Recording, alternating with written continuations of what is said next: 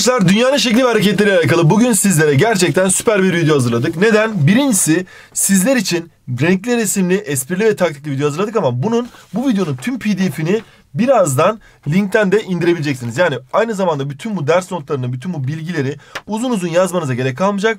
Linke tıkladığınız zaman bu videonun pdf'ini, çıktısını alabilirsiniz. Oradan da çalışabilirsiniz. Esasında bugün işleyeceğimiz konu şu. Dünyaya şekil yapıyorlar. Nasıl şekil yapıyorlar? Güneşten gelen enerji dikkatli bir şekilde baktığımız zaman resme ilk başta dünyanın şişkin kısmına ulaşıyor. Sonrasında kutuplara doğru ulaşıyor. Bu yüzden de ekvatora yakın kısımlar daha sıcak, kutuplara yakın kısımlar ise daha soğuk oluyor. Yani kuzeye doğru gidildikçe kuzey yarımkürede, güneye doğru gidildikçe güney yarımkürede sıcaklıklar düşüyor. Bu yüzden e, mesela ekvatordaki bir dağın 4000-5000 metresinde karlar varken, kalıcı karlar varken Türkiye'de 2500-3000 metreden sonra kutuplarda ise deniz seviyesinde bile kalıcı karlar başlayabiliyor. O zaman biz ekvatordan kutuplara doğru sıcaklığın azaldığını biliyoruz. Bunun sebebi dünyanın şekli. O zaman Burada bura taraf karanlık, bu taraf aydınlık. Bu da çok belli. E buradan güneş ışınları geliyor. Burası gündüz, bu tarafta gece. Mevsimlerin oluşmasının sebebini öğreneceğiz ve hepsini güzel bir şekilde pekiştireceğiz. Bugünkü yanımızda dünyanın şekli ve sonuçlarını, günlük hareket ve sonuçları, yıllık hareket ve sonuçları, eksen eğikliğini, 23 derece olan eksen eğikliğini, paralelleri ve meridyenleri, e, yerel saati, Türkiye'nin mutlak ve göreceli konumunu net bir şekilde bitireceğiz. Şimdi hızlı bir şekilde anlatacağım. Siz de arkanıza yaslanın, kemerlerinizi bağlayın, başlayalım. Şimdi dünyanın şeklinde bilhassa ekvatordan kutuplara doğru cümlelerine dikkat etmeniz lazım. Yani eğer cümlenin içerisinde ekvatordan kutuplara doğru diyorsa dünyanın şekliyle alakalı şeyleri söylüyordur. İşte ekvatordan kutuplara doğru dünyanın sıcak şey sıcaklık değişiyor, denizlerin tuzluluğu değişiyor. İşte e, haritalarda bozulma oranı bunların hepsi dünyanın şekliyle alakalı. Günlük harekette ise anahtar kelimemiz gün içinde olacak. Gün içinde sıcaklık değişmesi, gün içinde gölge boyunun değişmesi, gün içinde basınç farklılığının oluşması. Bunların hepsi günlük hareket. Eksen eksene eğik olarak yıllık hareket yapılması ise yıl içinde kelimeleriyle olacak. Yani yıl içinde ne olur mesela? Mevsimler yaşanır. Gece gündüz gün içinde yaşanır ama mevsimler yıl içinde yaşanır. Yıl içinde kelimesini gördüğünüz zaman eksen ekli ve yıllık hareket olacak. Yörüngenin elips olması ise daha çok sürelerle alakalı yani sürenin bozuk olmasıyla alakalı kelimeler olacak. Bunların hepsini birazdan birlikte göreceğiz. Şimdi dünyanın şekli sonuçlarına baktığımızda dünyanın kutuplardan basık bir şekli var. Yani tam bir yuvarlak, tam bir küre değil. Kutuplardan basık olduğu için de e, farklı bir şekli var. Bu has şekline biz geoid diyoruz arkadaşlar. Bunu bilmemiz lazım. Dünyanın geoid şekli sürekli böyle dönüyor kendi etrafında dönerken kendi eksen etrafında dönmesi sonucunda oluşuyor. Bunu bilmemiz lazım. Bu yüzden de kutuplardan basık olduğu için kutuplar yerin merkezine daha yakın ve bu yüzden de ister istemez yer çekimi daha fazla olacak. Şimdi dünyanın geoid küremsi olmasının sonuçları. En büyük çember ekvator tamam. En ekvator yarıçapı büyük, kutuplar yarıçapı küçük tamam. Ekvator çevresi şişkinlikten dolayı meridyenlerden daha uzun. Burası tamam ama en önemli kısım burası bakın. Burası sınavda karşınıza çıkar. Buradan böyle basık olduğu için yerin merkezine daha yakın kutuplar. Bu yüzden de kutuplarda yer çekimi daha fazla. Yani ekvatordan kutuplara doğru gittikçe yer çekimi artıyor. Peki dünya basık olsun ya da olmasın. Küresel şeklinin sonucu ne? Dünyanın bir yarısını gündüz, diğer yarısını gece yaşıyor. Hemen şuraya güneşi koyuyorum. Tamam. Burayı aydınlattık. Ne olacak? Bu taraf aydınlık olacak ama diğer taraf, güneşi görmeyen taraf karanlık olacak. Bu dünyanın küresel şeklinin sonucu. Açısal hız dünyanın her yerine aynı. Harita çizimlerinden bozulmalar meydana geliyor. Niye? Şimdi siz düz bir şekli düz bir kağıda aktarabilirsiniz ama eğimli bir şekli yani küresel bir şekli ister istemez kağıda aktardığınızda bozulmalar meydana gelecek. Ekvatorda alçak basınç, kutuplarda yüksek basınç olacak. Bunu basınç konusuna gelince daha öğreneceğiz. Alçak basınç havanın az basınç yapması demek. Niye? Ekvatorda hava sıcak, ısınan hava yükseliyor ve fazla basınç yapmıyor. Ama kutuplarda hava soğuk, aşağı doğru iniyor, yüksek basınç yapıyor.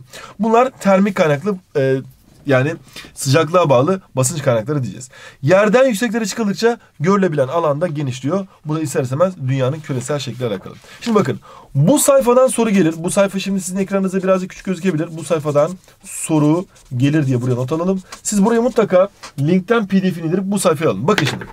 Ekvatordan kutuplara doğru gidildikçe yani dünyanın sıcak olarak bilinen kısmından ki Afrika'nın tam altındadır yani şöyle dünya haritası çizdiğimizde şöyle Afrika'yı görüyorsunuz ya tam buradan geçer ekvator. Ekvatordan kutuplara doğru gidildikçe neler azalıyor neler artıyor bunu bilmeniz lazım. Birincisi şunu bilelim. Ekvatordan kutuplara doğru gidildikçe sıcaklık azalır. Ekvatordan kutuplara doğru gidildikçe güneş ışınlarının düşme açısı azalır. Yani güneş ışınlarının düşme açısı dediğimiz şey gıda. Zaten gıdalarımıza güneşten enerjisini alır. Sonrasında Zaten sıcaklığın azalmasının sebebi güneş ışınlarının düşme azalmasıdır.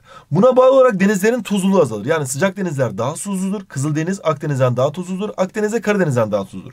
Aynı zamanda daimi kar sınırı azalır. Yani burada ta 5 metredeyken kalıcı karlar burada deniz seviyesinde bile kalıcı kar vardır. Paralel boyları e, azalır. Bak paralel burada ekvator çok genişken gittikçe gitti, görüyor musunuz? Böyle küçülüyor ve en son bir nokta halini alır. Devam ediyoruz. Çizgisel hız azalır. Çizgisel hız da dünyanın kendi ekseni etrafındaki dönüş hızı. Peki artanlar ne? Onlara bakalım. Bir kere ekvatordan kutuplara doğru gidildikçe Haritalarda bozulma artar. Burası biraz daha düze yakın, buralarda eğim artıyor. Tarım ürünlerinin olgunlaşma süresi artar. Buralar daha soğuk olduğu için daha zor olgunlaşır domatesler. Yer çekimi artar. Niye? Kutuplardan basıktı. Grup ve tan süresi artar. Niye? Çünkü çizgisel hız azalıyor. Çizgisel hızın azalması şey şu. Bakın dikkat dinleyin. Şurada diyelim ki e, bir nokta şurası diyelim başlangıç neden olsun. E, birinci nokta, ikinci nokta ve üçüncü nokta olsun. Şimdi buradan bir araba çıkıyor böyle gidiyor. Buradan da bir araba çıkıyor böyle gidiyor. Buradan da bir araba çıkıyor. Üçü de aynı anda burayı dönecekler. Şimdi bir numaralı mı önce gelir, iki numaralı mı önce gelir, üç numaralı mı önce gelir. Üçü de eğer arabaların aynı hızdaysa tabii ki üç numaralı önce gelir. Niye? Çünkü burası daha kısa bir mesafeye dönecek. Ama üçü de aynı anda geliyorsa hangisi daha hızlıdır? Tabii ki bir numaralı daha hızlıdır. Niye? Bir numaralı daha uzun bir mesafeye dönmesine rağmen 2 ve 3 de aynı anda geliyorsa 1 daha hızlıdır.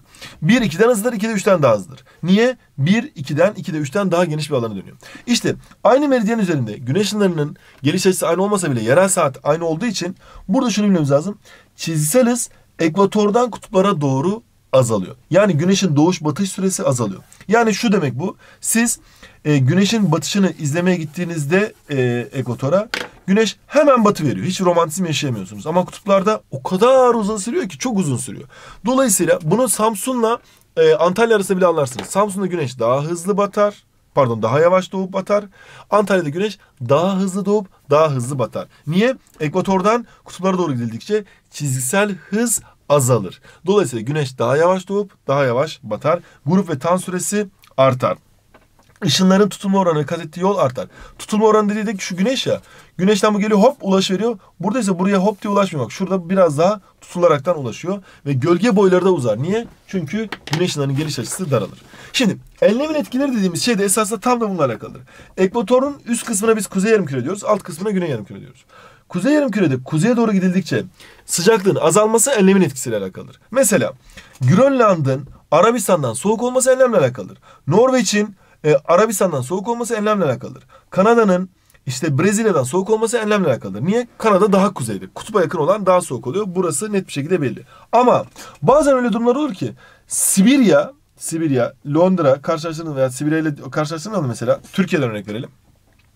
Ankara daha güneyde olmasına rağmen veya Sivas daha güneyde olmasına rağmen Samsun daha sıcaktır. Niye? Samsun deniz kenarındadır. Yani yeryüzünde veya Türkiye'de fark etmez. Kuzeye doğru, kuzey yarımküre, Türkiye kuzey yarımkürede aldığı için, o yer aldığı için bunu söylüyorum.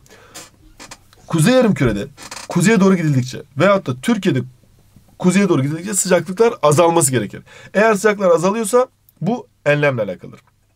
Çanakkale İzmir'den soğuktur. Bu enlem. İzmir Antalya'dan daha soğuktur. Yani Antalya İzmir'den daha sıcaktır. Bu da enlem. Ama Sivas'la veya Van'la İzmir aynı enlemde yer almasına rağmen Van soğuktur, İzmir sıcaktır. E bu ne?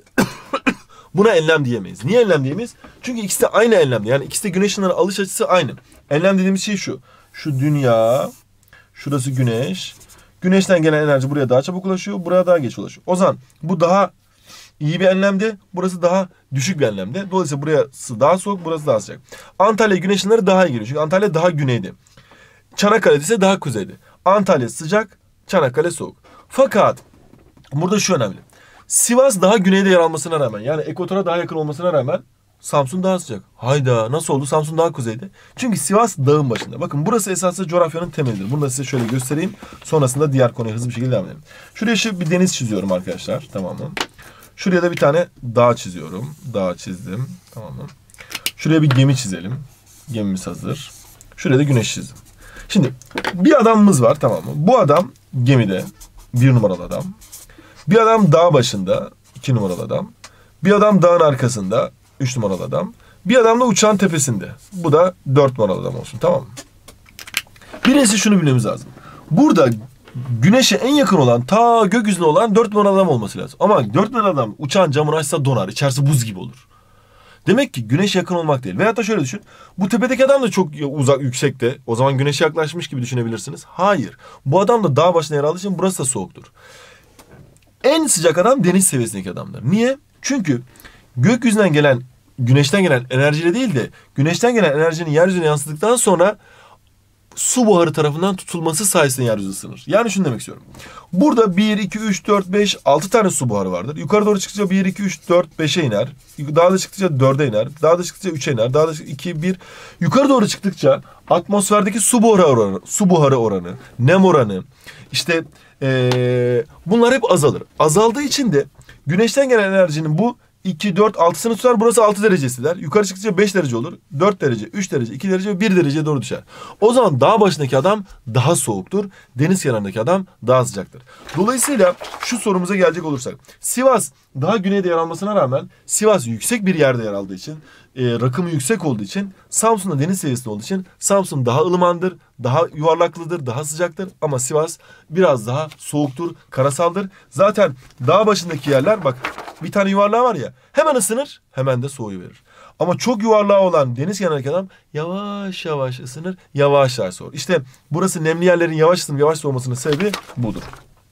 O zaman Sivas'ın Samsun'dan soğuk olması enleme ters ama Çanakkale'nin İzmir'den soğuk olması enleme uygun diyebiliriz. Dünyanın günlük ve eksen hareketi ve sonuçlarına baktığımızda günlük hareketi ve eksen hareket derler. Dünya kendi eksen etrafında dönmeye başlayınca bir tarafta gece bir tarafta gündüz yaşanacak. Şimdi dünya kendi eksen etrafında dönüşünü 24 saatte tamamlıyor. Burası önemli. Buna bir gün diyoruz. Burası eksen dediği şu portakal düşünün. Ortasından bir şiş geçirdiyseniz ona eksen diyebiliriz. İşte dünyanın ortasından bir eksen geçiyor. Bu bunun etrafında dönmesine de biz günlük hareket diyoruz. Buradaki anahtar kelimemiz hep gün içerisinde bak. Güneş günlük hareketin sonucunda burası günlük hareketin sonuçları yazalım bak. Günlük hareketin sonuçları. Adı üzerinde zaten günlük hareket ya. O zaman adı adı gibi seçeneklerde de buna dikkat edeceksiniz. Güneş ışınlarının geliş açısı gün içerisinde değişir. Öğlen daha iyi gelir. Gölge boyu gün içerisinde değişir. Öğlen gölge boyu daha kısadır. Sıcaklık gün içerisinde değişir. Öğlen hava daha sıcaktır yani bir iki gibi. Günlük basınç farkları oluşur yani sıcaklık değişir. Meltem rüzgarları ve fiziksel mekanik parçalanma olur. Meltem rüzgarı dediği şey şu. Gündüz denizler hemen ısınmaz ama karalar hemen ısını verir. Denizler soğuk olduğu için denizden karaya bir rüzgar eser. Geceliğin de karalar hemen soğuyu verir. Bu sefer de karadan denize rüzgar eser. Bunlara biz meltem rüzgarları diyoruz. Bunun aynısı dağ ve vadi için de geçerli. Gündüz e, dağlar hemen ısını verir. Vadiler soğuk kalır. Gündüz vadiden dağ, geceliğin de dağdan vadiye rüzgar eser. Mekanik parçalanma ise daha çok çöllerde görülür. Gündüz sıcak, gece soğuk. E bu sefer de kayalar parçalanıyor. Ve aynı zamanda Gece gündüz birbirini takip eder, ardalanır. Yerel saat farklılaşır. Yerel saat farkında birazdan yerel saat konusuna göreceğiz. Güneş Kars'ta İzmir'den daha önce doğar. Dünya batıdan doğuya doğru döndüğü için. Batıdan doğuya doğru dönünce Kars'ta güneş önce doğar. Kars'taki çocuklar daha erken okula gider. Veyahut da şöyle anlatayım. Ezan hani akşam ezanı okunuyor iftar yapıyoruz ya Ramazan'da. İşte Kars'ta ezan daha önce okunur. Onlar bir saat 16 dakika önce daha açar iftarı. İzmirler bir saat 16 dakika sonra açarlar. Niye? Burası Türkiye'nin daha doğusuna yer alıyor. Türkiye 26-45 doğu meridyenleri arasında yer aldığı için 45 meridyen eksi 26 meridyen eşittir 19 meridyen. Her iki meridyen arası 4 dakika olduğu için de 19 çarpı 4 76 dakika zaman fark vardır. Burada güneş 76 dakika önce doğar ve 76 dakika önce batar. 76 dakika önce battığı için sen burada iftarı daha çabuk açarsın. Çizgisel hız ve açısal hız oluşur. Okyanus akıntı oluşur. Dünya dönünce bir anda akıntılar oluşuyor ve sürekli rüzgarlar sapmıyorlar. Dinamik basınç kuşakları da oluşur. Dağ ve vadi melteminde görüyoruz. Bakın gündüz vadiden dağ, geceliğinde dağdan vadi esiyor. Dünyanın dönüş yönünün batıdan doğuya doğru olması sonrasında ise doğuda yerel saat daha ileri. Kars'ta ezan daha önce okunuyordu. Batıda daha geri olur. En son İzmir'de Çanakkale'de okunuyor. Akıntı ve rüzgarlar kuzey yarımkürede saat yönünde yani şöyle saat yönünde. Güney yarımkürede ise saat yönünün tersinde saparlar. Doğu batı diye bir yön oluşur. Gölge yönü batıdan doğuya doğru değiştirir. Yer değiştirir ve aydınlanma çizgisi batıya doğru hareket eder. Gelelim yıllık harekete yani eksen eklemi.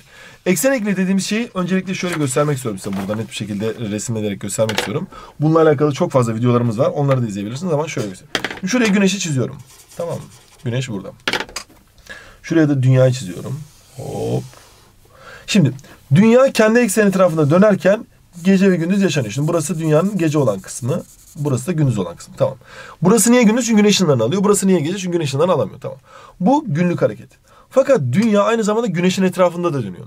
Güneşin etrafında döndüğü zaman kendi ekseni etrafında döndüğü zaman bir gün yaşanıyor 24 saat. Güneşin etrafında döndüğü zaman da güneşi niye bu kadar küçük çizdiniz hocam? Uzakta olduğu için.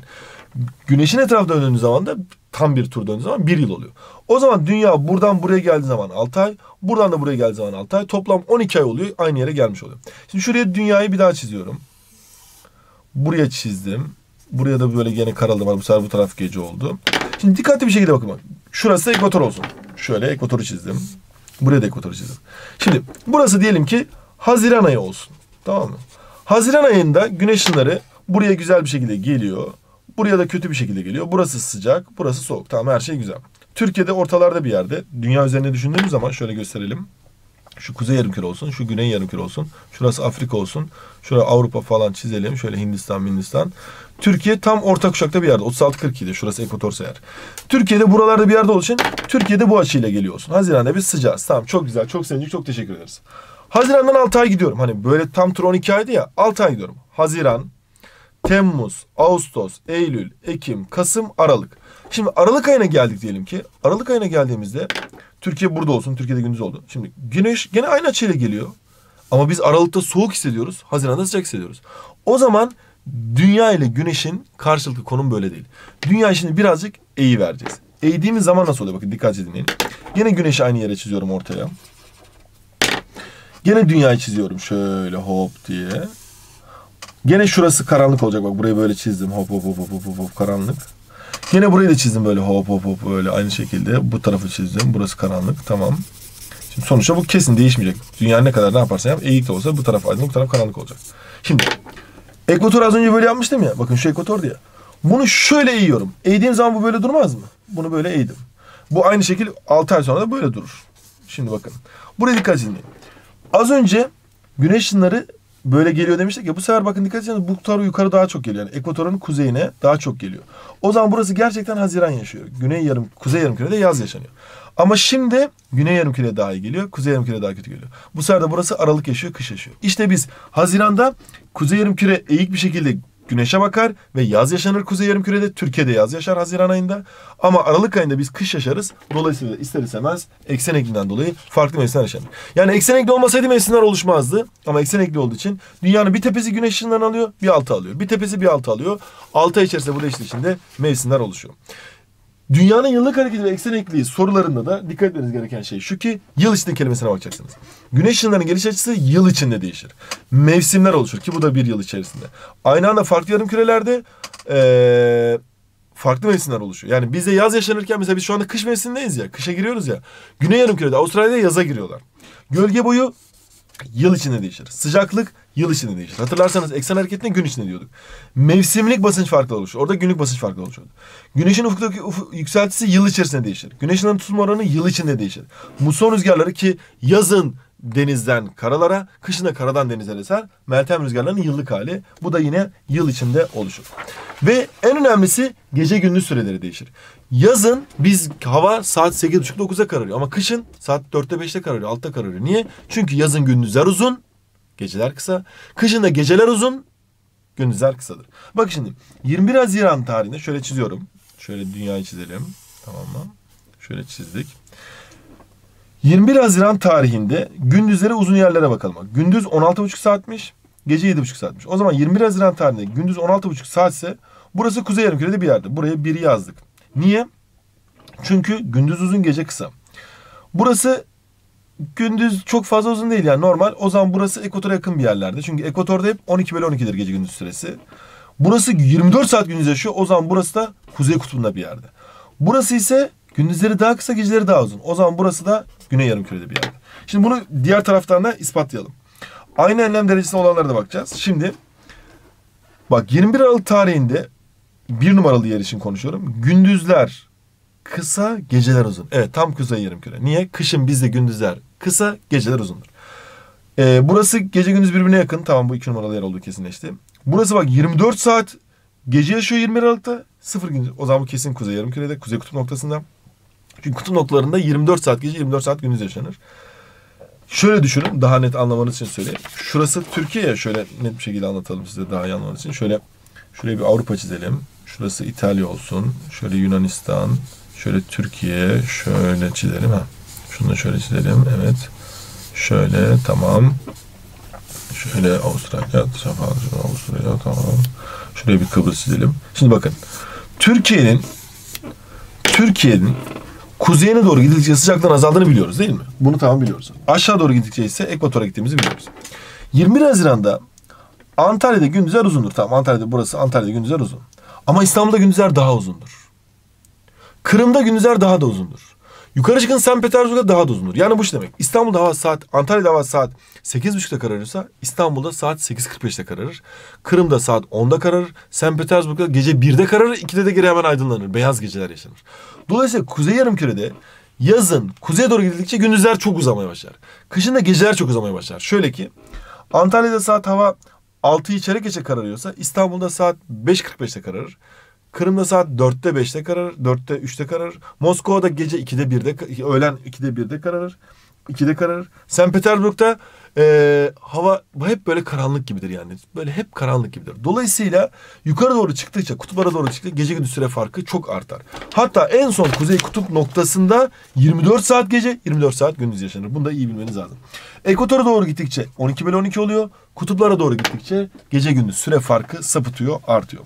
Peki niye 1 ve 4'e aynı enlem derecesi dediler? Çünkü bak Burası 16,5 saat gündüz, 7,5 saat gece yaşarken bu da 7,5 saat gündüz, 16,5 e, şey e, 16,5 saat gündüz, 7,5 saat gece yaşıyor. Demek ki bunlar tam onun birbirinin simetri bir şekilde. Bu 7,5 saat gece yaşarken bu e, 7,5 saat gündüz yaşıyor. Bu 16,5 saat gece gündüz yaşarken bu 16,5 saat gece yaşıyor. Demek ki tam simetrik oldukları için bunlara aynı enlem derecesinde diyebiliriz. Aydınlanma çemberinin konumu yıl içinde değişiyor. Bakın şu güneş Gördüğünüz gibi şurası aydınlanma çemberinin çizgisi şurası. Bak şu şu eksen şurası ekvator. Gördüğünüz gibi çok dikkatli bakın. Kuzey kutup noktası aydınlık. Görüyor 24 saat gündüz. Bunu ne kadar çevirirsen çevir hep burası aydınlıkta kalıyor. O yüzden de 24 saat gündüz yaşıyor 21 Haziran tarihinde. 21 Haziran tarihinde kutup dairelerine teğet geçiyor. Kutup daireleri dediği şey şu. Şöyle çiziyorum. Şurası ekvator. Şurası yengeç dönencesi eksen ekli sonrası oluşuyor. Şurası oğlak dönencesi eksen ekli sonrası oluşuyor. Şurası kuzey kutup dairesi. Burası da güney kutup dairesi. Yani 66 ve 66'lar. İşte 21 Haziran tarihinde böyle olur. Bu taraflar karanlık tamam mı? Ve gördüğünüz gibi güneş ışınları kuzey kutup noktasını alıyor, görüyor ve kutup dairelerinden teğet geçiyor. 21 Mart 23 Eylül'de kutup noktalarına teğet geçiyor. Yani kutup noktalarından geçiyor. Yine 21 Aralık tarihinde de yani solstice tarihlerinde kutup dairelerinden teğet geçiyor. Bunu da bilmemiz lazım. Güneşin doğuş ve batış saatleri ve noktası değişiyor. Tabii ki yazın daha farklı bir yerden doğup batıyor, kışın daha farklı bir yerden doğup batıyor. Matematik iklim kuşakları, dönenciler ve kutup daireleri oluşuyor. Eğer eksen ekli 25 derece olsaydı yengeç dönencesi 25'ten geçerdi. Ama eksen ekli 23 derece olduğu için eksen ekli 23'ten geçiyor. Ee, oğlak dönencesi 23 güneyden geçiyor. Şimdi şunu iyi bileceğiz. Bakın şurası 0 ekvator. Ekvatorda hep gece gündüz 12 bölü 12 eşit. Eksen ekli 23 derece olduğu için kuzey yarımkürede 23 derece enlemi güneş ışınlarını dik alıyor. Ama yılda bir kez 21 Haziran tarihinde. Sonra 22 Haziran'da buraya dik geliyor. Sonra 23 Haziran, Temmuz, Ağustos, 21 Eylül'de buraya. Ekim, Kasım, 21 Aralık'ta buraya. 23 Eylül'de buraya. 21 Aralık'ta buraya. Sonra bak Oğlak dönencesi de 21 Aralık'ta dik aldı. Sonra tekrar devam ediyoruz. 22 Aralık'ta tekrar buraya. Aralık, Ocak, Şubat, Mart, 21 Mart'ta tekrar burası. Nisan, Mayıs, Haziran böyle. Yani dolayısıyla 21 Haziran'da buraya, 21 Mart ve 23 Eylül'de buraya, 21 Aralık'ta da buraya dik geliyor. Güneş ışınları demek ki yengeç ile oğlak dönencesi arasında sürekli dolaşıyor. Yengeç ve oğlak dönencesi arasındaki yerleri yılda iki kez dik geliyor. Yengeç dönencesine bir kez dik geliyor 21 Haziran'da. Oğlak dönencesine bir kez dik geliyor 21 Aralık'ta. Diğer zamanlarda ise bu arada dolaşıyor. Dolayısıyla buralar çok sıcak. Tropikal kuşak. Biz mesela tropikal kuşakta yer almıyoruz. Biz orta kuşaktayız. Biz bazen sıcağı görüyoruz bazen sıca e, soğuğu görüyoruz. Tropikal kuşaktakiler hep sıcağı görüyor. Kutup kuşağındakiler de hep soğuğu görüyor. Bütün bunların hepsi eksen ekli ve yıllık hareket sonrası oluşuyor. Şimdi gelelim bu az önce anlattığımız özel tarihlere. 21 Haziran tarihinde İstanbul'u düşünün. Ne oluyor? Havalar sıcak. O zaman bizde havalar sıcaksa yaz yaşıyoruz demektir. Kuzey yarımkürede yaz yaşanıyorsa güneş ışınları 21 e, Haziran tarihinde 23 yengeç dönemsine denk geliyor demektir Kuzey Yarımküre'de. Burada gölge boyu saat 12'de sıfır oluyor. Kuzey Yarımküre'de yaz başlangıcı, Güney Yarımküre'de kış başlangıcı. Kuzey yarımkürede en uzun gündüz yaşanıyor. Güney yarımkürede ise e, e, en uzun e, gece yaşanıyor. Kuzey yarımkürede en uzun gündüz yaşanıyor. En kısa gece yaşanıyor. Bak burası çok önemli. 21 Haziran en uzun gündüz ya. 22 Haziran'da o zaman enden bir aşağı iniyor. Demek ki 22 Haziran'dan sonra gündüzler kısalmaya başlıyor. Yani en uzun gündüz 21 Haziran'dır. 21 Haziran'dan sonra gündüzler kısalmaya başlar. Ama biz bunu hissetmeyiz. Çünkü hala çok uzundur. Yani 21 Haziran'da hava saat 8.38'de kararır. 22 Haziran'da saat 8.37'de kararır. 23 Haziran'da saat 8.36'da kararır. Bak gittikçe gündüzler kısalıyor ama biz bunu hissedemeyiz. Kuzeye gidildikçe gündüz süresi artar. Söylemiştim St. Petersburg, Moskova örneğini hatırlayın. Kuzey kutup dairesi tamamen aydınlık, güney kutup dairesi tamamen karanlıktır. Aydınlanma çemberi de kutup dairelerinden geçiyor. Bakın 66 kuzey kutup ve 66 güney kutup dairelerinden geçiyor. Bizde yaz yaşanıyor. Burası önemli. Öbür tarafta kış yaşanıyor. 20 Aralık'ta ise bunun tam tersi. Bu sefer bizde kış yaşanıyor. Güneş ışınları oğlak dönemine dik geliyor. Güney yarımkürede yaz, bizde kış başlangıcı. Güney yarımkürede en uzun gündüz yaşanırken bizde en uzun gece yaşanıyor. Güneye doğru gidildikçe gündüz süresi artıyor.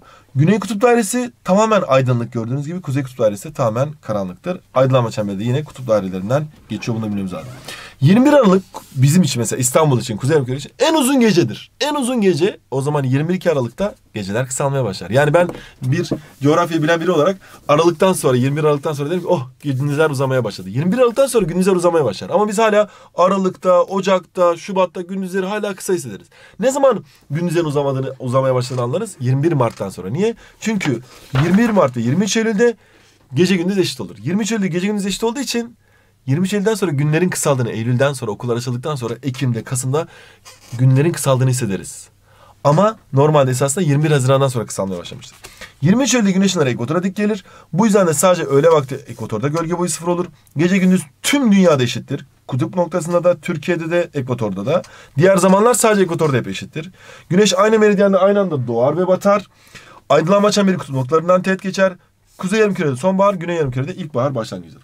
Kuzey kutbunda 6 ay gece, 6 ay gündüz, e, şeyde güney kutbunda 6 ay gündüzlük başlaması tarihi 23 Eylül. 21 Mart'ta bunun bizim ilkbaharımız. Peki şunu da sorabilir hocanız size. Niye Mart ayında güneş ışınları e, ekvatora dik geliyor? Eylül ayında güneş ışınları ekvatora dik geliyor. Güneş ışınları aynı olmamıza rağmen niye Eylül sıcaktır Mart soğuktur? Çünkü biz Eylül'e yazdan geliriz. Haziran, Temmuz, Ağustos ısın ısın ısın Eylül. Dolayısıyla sıcaktır. Ama Mart'a Aralık, Ocak, Şubat, Mart deriz. Yani soğuk soğuk soğuktan sonra Mart'a girdiğimiz için güneş ışınlarını aynı da alsak Mart kapıdan baktırır kazma, kürek yaktırır. Dolayısıyla 21 Mart'ı yazdık.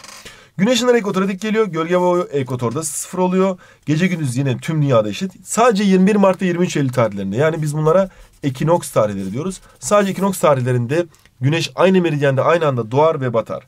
Aydınlanma çemberi kutup noktalarından teğet geçer. Kuzey yarımkürede ilkbahar yani bizim bulunduğumuz yarımkürede ilkbahar. Diğer tarafta ise sonbahardır.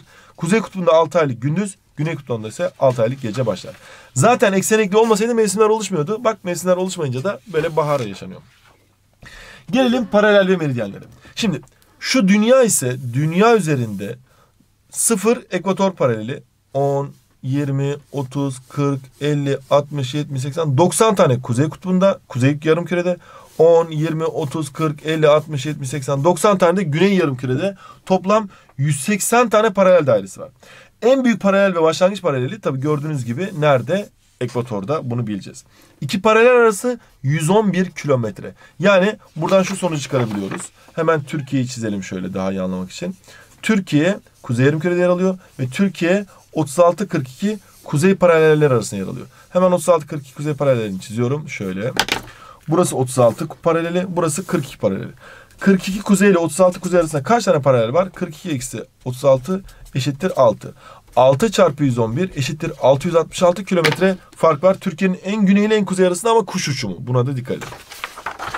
Ama mesela bize deseydi ki 30 kuzey ile 40 güney arasında kaç vardır deseydi bu sefer 30'dan 40'ı çıkarmayacaksın. Niye? 30 tane bir gidiyorsun sonra bir 40 tane daha gidiyorsun. Dolayısıyla 30 artı 40 70 paralel var. 70 çarpı 111 de doğru cevabımız olur. Bunu bu şekilde bize sorabilirler. Bunu aklınızdan çıkarmayın. Aynı yarım kürede olursa çıkarıyoruz. Farklı yarım kürede olursa toplayarak 111 ile çarpıyoruz. Meridyenler ise biraz daha farklı. Meridyenler gittikçe daralıyor bakın şimdi. Şurası başlangıç meridyeni ya hop. Kutup noktalarına birleştikleri için aralarındaki mesafe ekvatordan kutuplara doğru gidildikçe aynı karpuz dilimi gibi daralıyor. Yani ekvator üzerinde iki meridyen arasındaki mesafe 111 kilometreyken gittikçe daralır ve kaybolur. Dolayısıyla iki meridyen arasındaki mesafeyi bize hep sorarlar. Buna da dikkat etmeniz lazım. Başlangıç meridyeni İngiltere'deki Greenwich'tir.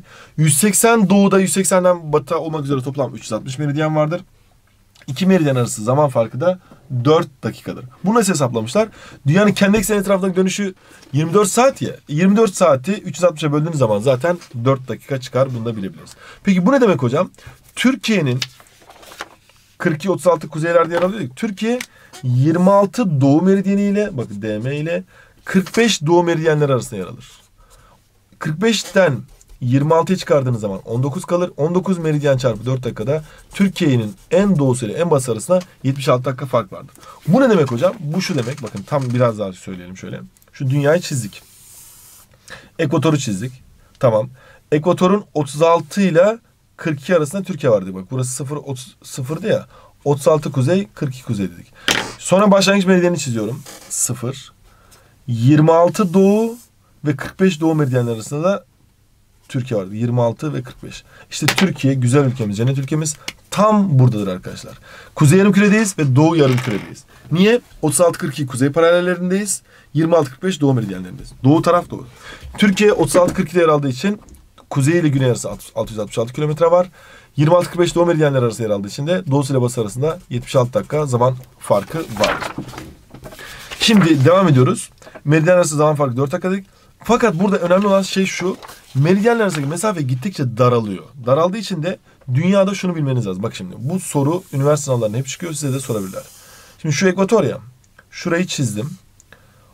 30, 60, 90 diyelim. 30, 60, 90 diyelim. Eşit parçalara böldüğümüzü düşünelim. Sonra şurayı bölüyorum şöyle. Bir tane buradan aldım. Bir tane daha aldım. Bir tane daha aldım. Bak eşit parçalar böldüm. Burada da eşit parçalar böldüm. Bir. Bir tane daha aldım. Bir tane daha aldım. Şimdi tüm eşit parçalara böldüm ya. Şurası ekvatordu. Şimdi burası x ise burası da x'tir. Alan olarak, iz düşüm alanı olarak. Buralar hep x'tir. Tamam bunu bileceğiz. Çünkü aynı paralel ve aynı meridyenler geçiyor. Ama buralar x değildir. Şuraya doğru çıktıkça arası daraldığı için burası y'dir bak gittikçe daralıyor. Burası z'dir bak gittikçe daralıyor. Ama burası y ise burası y'dir. Onun tam simetri çünkü. Burası z ise burası z'dir. İşte şu anda çizdiğim şey mutlaka zihninize bulunsun. Dünya üzerinde tam da böyle bir dilim var yani. Eşitlik dilim var.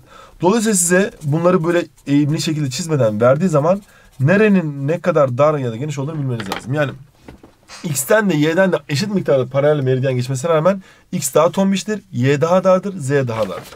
Bu şunu gibi düşün bak. Şurası sıfır ekvator ya. Bak hepsinden onar tane meridyen geçiyor. Bak 0, 10, 20, 30, onar meridyen geçiyor. Hepsinden de 15, e, 15'er paralel geçiyor. Bak 0, 15, 15, 30, 30, 45, 45, 60. Yani bir numaralı yerin de en kuzey en güney arasında 15 paralel var. E, iki numaralı yerin de en kuzey en güney arasında 15 paralel var. Bir numaralı yerin de en doğusu ile en batısı arasında 10 meridyen var. İki numaralı yerin de en doğusu ile en batısı arasında 10 meridyen var. Fakat buradan bakın bu sayfadan soru geliyor. Buraya yazıyorum. Bu sayfadan soru geliyor. Buraya dikkat dinleyin arkadaşlar şimdi. En dar iz düşüm alan bir de. Niye? Çünkü bu tam böyle şeyin daraldığı yerde. Bu böyle her şeyin fışt diye daraldığı yerde. Dolayısıyla yukarılarda olduğu için bak 45-60'lar olduğu için en dar düz iz düşüm alan bir de. En geniş iz düşüm alan 4'te. Niye ekvatora en yakın olan? Hatırlarsanız ekvatora en yakın olan x'ler daha geniş geniştir. O zaman aynı meridyen ve aynı paralel dairesi geçse bile yani adam der ki buradan da 10 tane geçiyor. 10 kuzey 10 güney. Burada da öyle. Ama birisi daha şişman diyorsa bu ekvatora daha yakındır. Bak 4 ekvatora daha yakın. Şimdi bu daha şişman, bu daha dar, bu daha dar, bu en dar oluyor. En geniş iz düşüm alan 4, 3 ve oluyor. Şunu geçelim şöyle. 3 ve 5'te alanlar eşit. 3 ve 5'te alanlar eşit. Niye? Bak bu ekvatordan 15 ile 30 arasında. Bu da ekvatordan 15 ile 30 arasında. Yani 3 ve 5'in ekvator olan uzaklığı eşit bak. Bu da sıfırdan bu kadar uzakta. Bu da sıfırdan bu kadar uzakta. Ekvator uzaklıkları eşit olduğu için bunu söyleyebiliriz. Ve şeyi de söyleyelim. Yerel saatleri de söyleyelim. Mesela şurası başlangıç meridyeni ya. Hepsi bir kere doğu yarım kürede. Güneş önce en doğuda doğacak. Yani 2, 3 ve 5'in olduğu yerde doğar. Sonra 1 ve 4'te doğar. Bunu da bilmemiz lazım. Şimdi onunla alakalı sorulara geleceğiz. Yerel saat hesaplamana baktığımızda güneş önce Van'da doğuyor. Sonra Kayseri'de doğuyor. Sonra İzmir'de doğuyor. Dolayısıyla Van'da saat yani şunu şöyle çizdiğimizde şurası altta güneş doğuyor olsun. 12'de güneş tepeye geliyor olsun. 18'de de batıyor olsun. Van'da güneş doğduğu anda daha Kayseri ve İzmir'de doğmamıştır. Van'da güneş buraya geldiği an İzmir'de daha yeni doğmaya başlar. Çünkü niye? Türkiye 26 doğu meridyenleri ve 45 doğu meridyenleri arasındaydı. 26-45 doğu meridyen arasında 76 dakika zaman farkı vardı. Yani Van'da güneş doğduktan 76 dakika sonra İzmir taraflarında doğar. Yani Van'da bak şurası 12 ise eğer şurası 12'nin olduğu yerse buralar 1 olur. Van'da 1 iken Kayseri'de daha yeni 12 gibidir. İzmir'de de 11.5 gibidir. Yani güneş daha erken doğup erken batar Van'da. Dolayısıyla size böyle bir çizgi verdikleri zaman diyeceksiniz ki şu taraf doğru yakın olan yani saat yönünde burası 6, burası 12, burası 18. O zaman doğudaki daha bu tarafta daha güneşin batmasına yakın, daha şey yakın. Batıdaki ise daha e, geride olduğunu bilmeniz lazım. Saat dilimlerine baktığımızda şimdi şurası sıfır başlangıç meridyeni. Başlangıç meridyeninden sonra birinci saat dilimi, ikinci saat dilimi ve üçüncü saat dilimi var. Saat dilimleri dediğimiz şey de şu. Şimdi ee, bakın sıfırdan 15'e kaç tane meridyen var? 15 tane meridyen var. 15 çarpı 4 ne eder? 60. 1 saat. Sıfırdan 30'a ne eder? O, e, 30 çarpı 4 ne eder? 120 bak 120. Yani bu birinci saat dilimi 60 dakika 120 ikinci saat dilimi böyle gidiyor. Dolayısıyla siz 15'e kadar birinci saat dilimi. 30'a kadar ikinci saat dilimi. 45 2, 3. saat dilimi. Devam ediyoruz. 45 artı 15 ne eder? 60 4. saat dilimi diye gidiyor. Peki niye böyle saat dilimlerine ayırmışlar? Çünkü saat yani yerel saat değişmesi lazım. Güneş her yerde aynı anda doğup aynı anda batmıyor. Önce doğuda doğuyor sonra batıda doğuyor. Yani dünya batıdan doğuya doğru döndüğü için böyle bir yerel saat farklı var. Türkiye 26-45 meridyenleri arasında yer aldığı için e, güneş şimdi konumuna göre düşündüğümüz zaman Türkiye ikinci ve üçüncü saat dilimlerinde yer aldığını bilmemiz lazım. Gelin bununla alakalı sorumuza bakalım. Şimdi bir kere şunu bilmemiz lazım. Şurası sıfır başlangıç meridyeni. 3, 4 ve 5 doğu meridyenlerinde. 1 ve 2 batı meridyenlerinde. Tamam. Güneş en önce doğuda doğacak. En doğudaki hangisi? Bu taraf doğuysa en önce doğu. 6.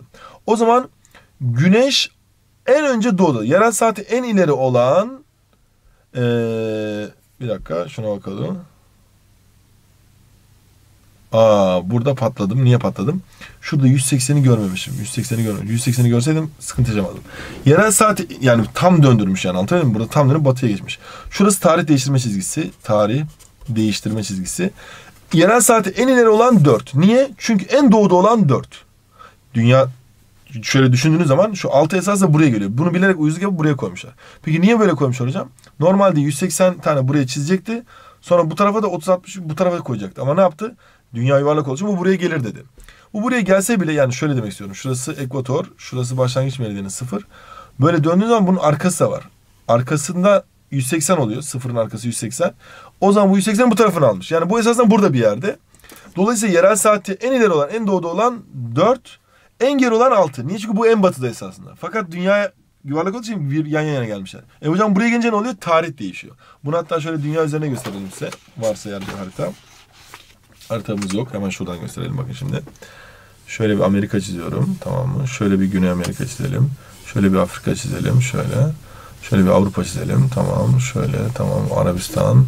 Hindistan, Hindistan, Avustralya. Hızlıca çizdim. Madagaskar, İngiltere, Grönland, tamam filan. Şimdi ekvator nereden geçiyordu? Hop buradan geçiyordu. Şimdi başlangıç nerede? Hop buradan geçiyor.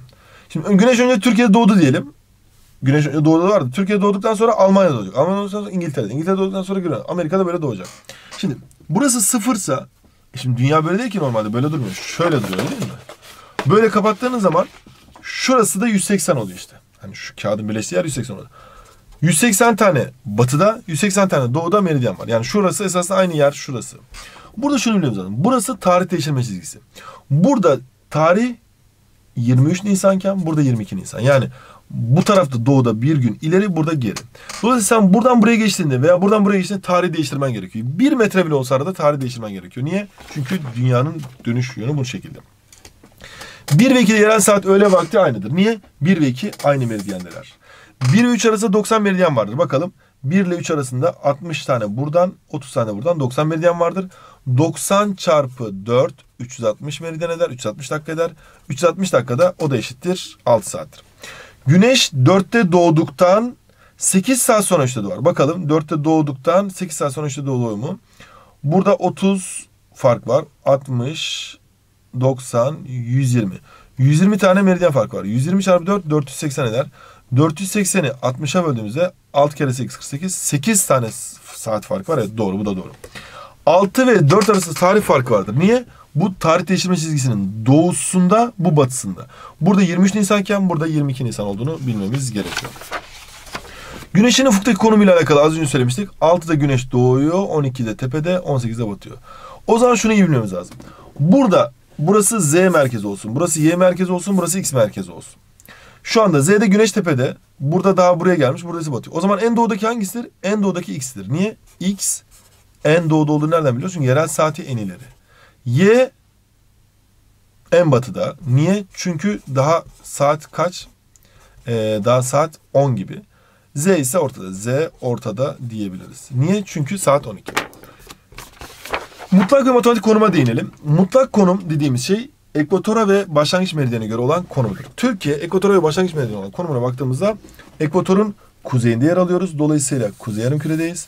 Başlangıç meridyene doğusunda yer alıyoruz. Dolayısıyla doğu yarımküredeyiz. Türkiye 36-42 kuzey ve 26-45 doğu meridyenleri arasında yer aldığını bilmemiz lazım. Türkiye kuzey yarımkürede yer aldığı için güneyinden kuzeyine doğru gidildikçe yani e, Antalya'dan Samsun'a doğru gidildikçe sıcaklık azalır. Daimi kar sınırı azalır. Güneş ışınlarının geliş açısı azalır. Çizgisel hız azalır. Denizlerde tuzluluk azalır. Yani Akdeniz Karadeniz'den daha tuzludur. Gece gündüz süre farkı artar. Gölge boyu uzar. Yer çekimi kutuplara doğru gittiğimiz için artar. Orta kuşakta yer aldığı için Türkiye yani dünya üzerinde orta kuşaktayız yani şuralardayız. Böyle ne çok sıcak olan e, ekvatoral bölgedeyiz, tropikal bölgedeyiz. Ne hep soğuk olan, hep montların giyildiği kutup bölgesinde, soğuk bölgedeyiz.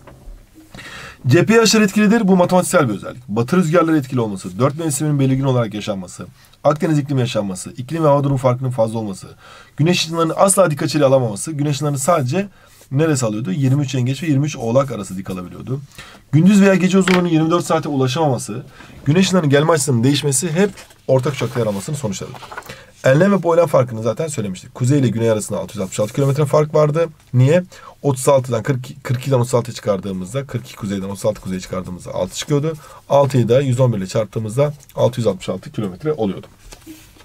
Doğusu ile batı arasında 1 saat 16 dakika yarım saat fark var. Bu nedendi? 26-45 arası yer alıyordu. 45 eksi 26 19 meridyen. 19 çarpı 4 dakikada 76 dakika zaman farkı vardı. 1 saat 16 dakika. Aynı anda sadece bir yerel saati ulusal saat olarak kullanıyor. İkinci ve üçüncü saat dilimlerinde kullanıyor.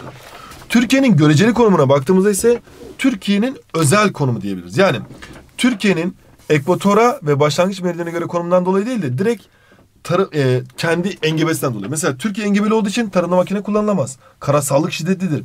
Gerçek alan ve yüzleşim alan arasında fark fazladır. Yani gerçek alan diyelim ki masanın üzerinde kalemler kapaklar olsun. Şunları da koyalım şu. Bunların hepsini hesaplamaktır. Ama izleşim alan bunları yok sayıp bunları yok sayıp kısa kenar çarpı uzun kenar demektir.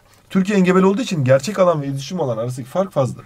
Dolayısıyla yol yapım maliyeti fazla, erozyon şiddetli eğim fazla, tarım alanları dar, iklim ve bitki örtüsü arasındaki değişim fazla. Ve yine dağlar kuzey-güney kıyılarına paralel uzandığı için şöyle düşünün. Şöyle Türkiye'yi ülkemizi düşünelim zihnimizde. Şöyle. Türkiye'de bakın şöyle düşünün. Bak kuzeydeki Karadeniz dağları ve güneydeki Toroslar ve Ege'deki dağları düşünün. Madra, Yunt, Boz, Aydın şey. Kıta sahanlığı dardır kıyılarımızda. Limanlarımız dardır. Bak içeri giremiyoruz.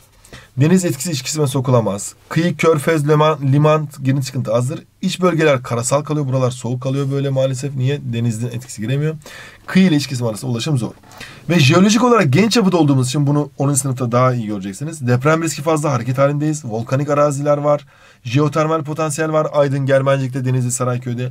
Püskürük taşlar yaygın. Maden çeşitliliği fazla ve yükseltisi fazla.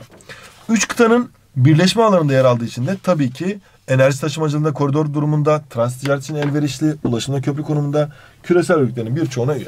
Şimdi bakın bunlarla alakalı sizlere sıfırdan 9'a coğrafyadan hepsini anlattığımız kısımlar ödev vermek istiyorum. Birincisi sayfa 20'de az önce gösterdiğim kısmı net bir şekilde sizlere özetledik. Burayı çalışıyorsunuz. Burası çok çok önemli.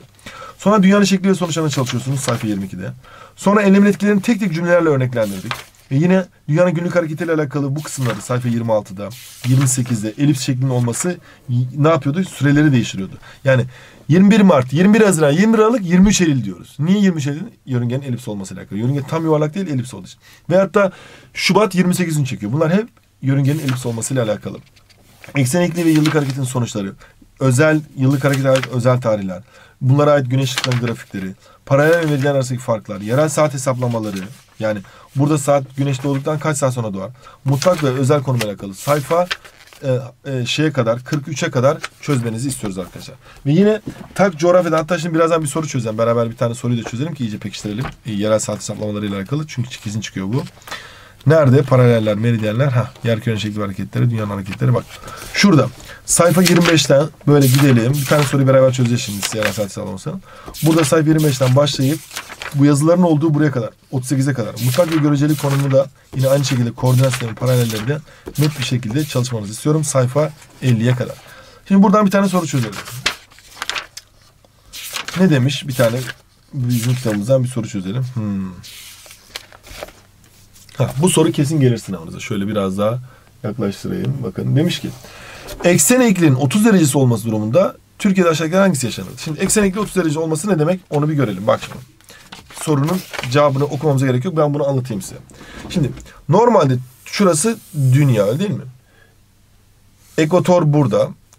23 derece yengeç kuzeyden geçiyor. 23 derece oğlak güneyden geçiyor. Eksen eğikliği 23 derece olduğu için.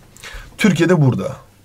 Şimdi eksen eğikliği 23 olduğu için güneş ışınları 21 Haziran'da yengeçe dik geldiği zaman biz yaz yaşıyoruz.